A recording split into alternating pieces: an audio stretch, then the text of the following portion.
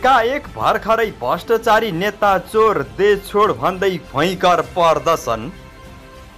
फेरि भर्खरै त्रिभुवन विमानस्थलबाट सुनसहित तिनजना पक्राउ। ढिस्कोमा पुरिएर मुस्ताङमा दुईजना मजदुरको मृत्यु।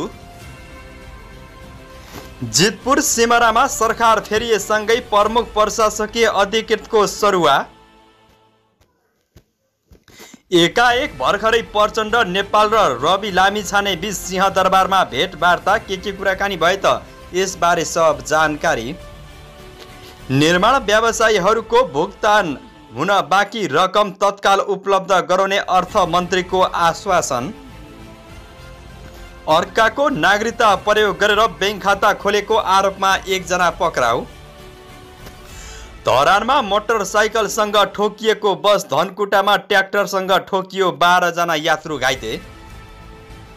पश्चिम नवलपरासीमा सर्पले टोक्दा युवतीको मृत्यु।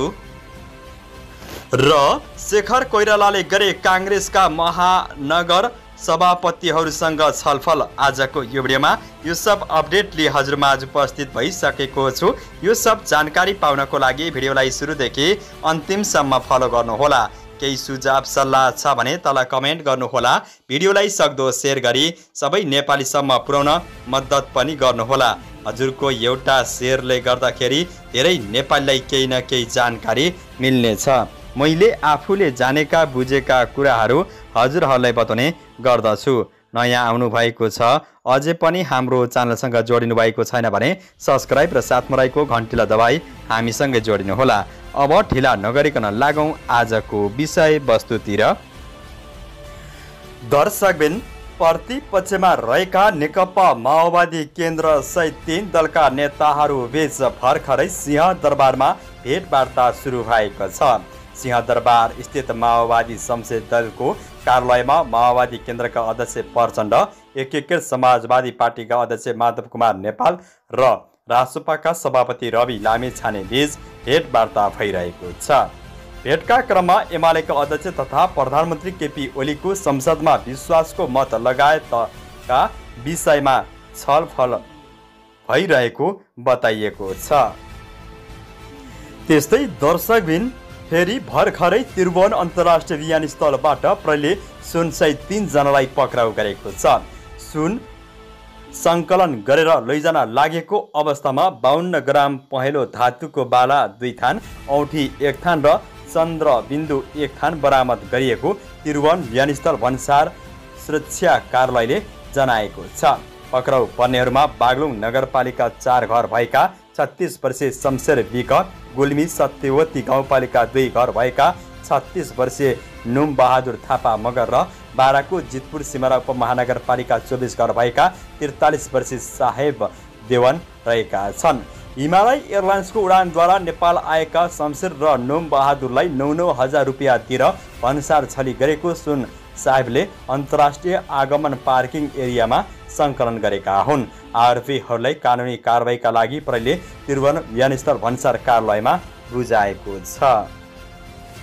त्यस्तै दर्शकबिन जितपुर सिमरा उपमहानगरपालिकाकी प्रमुख प्रशासकीय अधिकृत उर्मिला काफ्लेलाई कानुनी विपरीत सरुवा गरिएको भन्दै तत्काल सरुवा रोक्न उपमहानगरपालिकाले सामान्य प्रशासन मन्त्रालयलाई पत्रचार गरेको छ। सरकार परिवर्तन भए लगत्तै उपप्रमुख भोला प्रसाद अधिकारी सहित केही एमाले वडा अध्यक्षहरूले बिहिबार सामान्य प्रशासन मन्त्रालयमा पुगेर काफ्लेको सरुवा निर्णय गराएर नयाँ प्रशासकीय प्रमुखको रूपमा चेत कुमार पोखरेललाई ल्याउने निर्णय गरेका थिए। काफ्लेले वैशाख अठाइस गतेदेखि मात्रै जितपुर सिमरा उपमहानगरपालिकाको प्रमुख प्रशासकीय अधिकृतको रूपमा जिम्मेवारी सम्हालेकी थिइन्। त्यस्तै दर्शकबिन मुस्ताङमा ढिस्कोले पुरिएर दुई मजदुरको मृत्यु भएको छ। घर पन घर पनझोङ गाउँपालिका पाँच रुम्बामा गुफाको नाला खन्ने क्रममा शुक्रबार अचानक ढिस्को छरेर उनीहरू पुरिएका थिए मृत्यु हुनेमा सर्लाईको लालबन्दी नगरपालिका पन्ध्रका तेइस वर्षीय होमबहादुर बुढा फकिर दाङको गढवान गाउँपालिका एक घर भएका तेइस वर्षकै रवि दर्लामी रहेका छन्। उनीहरूको घटनास्थलमै मृत्यु भएको मुस्ताङ प्रहरी प्रमुख डिएसपी भोजराज पाण्डेले जानकारी दिनुभयो। दुवै सब पोस्टम्यानको लागि जिल्ला अस्पतालमा राखिएको छ। घटनाबारे थप अनुसन्धान भइरहेको पाण्डेले जानकारी दिनुभयो। त्यस्तै दर्शकबिन अर्काको नागरिकता प्रयोग गरेर ब्याङ्क खाता खोलेको आरोपमा प्रहरीले एकजनालाई पक्राउ गरेको छ। पक्राउ पर्नेमा दोलखाको वैतेश्वर गाउँपालिका घर भएका ध्रुव कृष्ण शर्मा रहेका छन्। चौतिस वर्षीय शर्माले मुक्तिनाश विकास ब्याङ्कको थिमी शाखालाई झुक्काएर अर्काको नागरिकता प्रयोग गरेर खाता खोलेको उपत्यका अपराध अनुसन्धान कार्यालयका एसपी काजी कुमार आचार्यले जानकारी दिनुभयो। आरोपीले धनुषा घर भएका सन्तोष सिंह दनुवारको नागरिकता दुरुपयोग गरेर खाता खोलेका हुन्। अर्काको नागरिकता प्रयोग गरेर आफ्नो फोटो र मोबाइल नम्बर राखेर खाता सञ्चालन गरेका शर्माले चेकबुक दुरुपयोग गरेको प्रहरीको अनुसन्धानबाट थाहा भएको छ। उनलाई कानुनी कारवाही गर्न प्रहरी विरुद्ध थिमीमा पठाइएको एसपी आचार्यले जानकारी दिनुभयो। त्यस्तै दर्शकबिन नेपाली काङ्ग्रेसका नेतृ सुजता कोइरालाले पार्टीको आगामी महाधिवेशनमा शेखर कोइरालालाई समर्थन गर्ने घोषणा गरेकी छिन्। शुक्रबार बालवाटार स्थित शेखर कोइरालाको सचिवालयमा पुगेर सुजाता कोइरालाले आफूभित्र कुनै विवाद नरहेको भन्दै आगामी महाधिवेशनमा शेखर कोइरालालाई समर्थन गर्ने घोषणा गरेकी हुन्। पार्टीका अग्रज आफ्ना परिवारले देखेको सपना पुरा गर्ने नेतृत्व दायित्व भूमिका शेखर कोइरालाले दिएको भन्दै सुजाता कोइरालाले मुलुकलाई निकास एकजुट हुने पनि उल्लेख गरिन्। त्यस्तै काङ्ग्रेस नेता शेखर कोइरालाले देश अप्ठ्यारो अवस्थामा रहेका बेला सबै मिलेर अघि बढ्नुपर्ने बताए उनले विगतमा केही तल माथि भए पनि चिन्ता गर्नुपर्ने अवस्था नरहेको भन्दै पुनः एकताबद्ध भएर अघि बढ्ने धारणा राखे उनले आगामी महाधिवेशनको तयारीमा जुट्न नेता तथा कार्यकर्ता समक्ष आग्रह गरेका छन्। त्यस्तै दर्शकबिन पश्चिम नवलपरासीमा सर्पले टोक्दा एकजना युवतीको मृत्यु भएको छ। शुक्रबार बिहान तिन बजे बर्दघाट नगरपालिका वडा नम्बर चौध बस्ने बिस वर्षीय सोनिया खनाललाई सर्पले टोकेको जिल्ला प्रहरी कार्यालयका डिएसपी रेशम बोहराले जानकारी दिनुभयो। पिसाब फेर्न शौचालय जाँदा बायाँ खुट्टामा सर्पले टोकेको हो। सर्पले टोकेपछि उनको उपचारका लागि स्थानीय सरोज मेडिकल अस्पतालमा लगिएको थियो। त्यहाँ सामान्य उपचारपछि जिल्ला अस्पताल परासी लगिएकोमा पौने नौ बजे चिकित्सकहरूले मृत घोषणा गरेको डिएसपी बोहराले जानकारी दिनुभयो।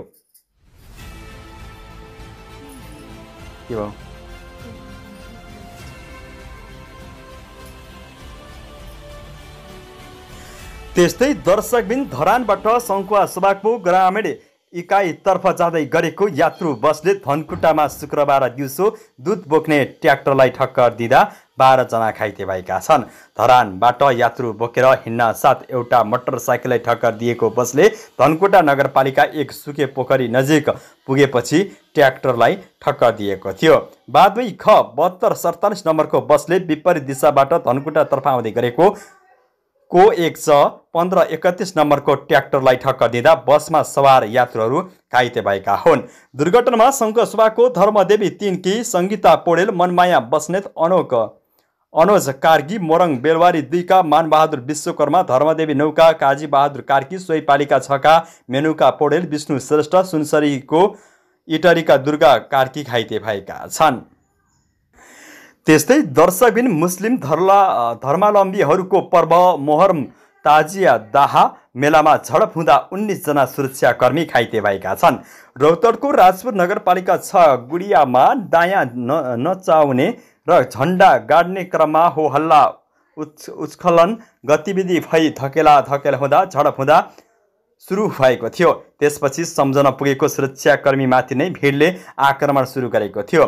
घरेलु हत्या लट्ठी तरवार भाला सहित उपस्थित भएका मुस्लिम समुदायका व्यक्तिहरूले अन्धाधुन्द प्रहरीमाथि आक्रमण गरेको जनाइएको छ। स्थिति नियन्त्रणमा लिन प्रहरीले केही सेल असुल ग्यास प्रहार गरेको थियो। झडपमा नेपाल प्रहरीका सत्र र सशस्त्र प्रहरीका दुई गरी उन्नाइस सुरक्षाकर्मी घाइते भएका छन्। सशस्त्र प्रहरी बल नम्बर बा अघियार गणका एसपी विक्रम हुमा गाईका अनुसार घाइतेहरूको अवस्था सामान्य रहेको छ। मेलामा नेपाल प्रहरीका एसपी दिलीप घिमिरे र सशस्त्र प्रहरीका एसपी हुमा गाईको कमान्डमा प्रहरी परिचालन गरिएको थियो।